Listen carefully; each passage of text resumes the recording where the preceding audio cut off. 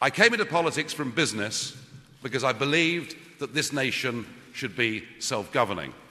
I have never been, and I've never wanted to be, a career politician.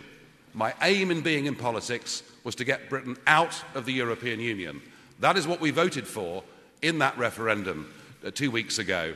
Uh, and that is why I now feel that I've done my bit, that I couldn't possibly achieve more than, than, than we managed to get in that referendum. And so I feel it's right that I should now stand aside as leader of UKIP. I will continue to support the party. I will support the new leader.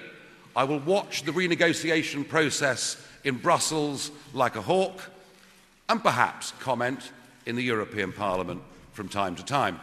I'm also very keen uh, to help the independence movements that are springing up in other parts of the European Union because I'm certain of one thing you haven't seen the last country that wants to leave the EU. It has been a huge chunk of my life doing this, and it's not easy, perhaps when you feel a degree of ownership of something, to let it go.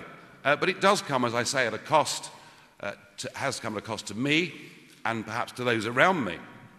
During the referendum campaign, I said, I want my country back.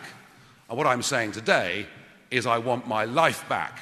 And it begins right now. Thank you.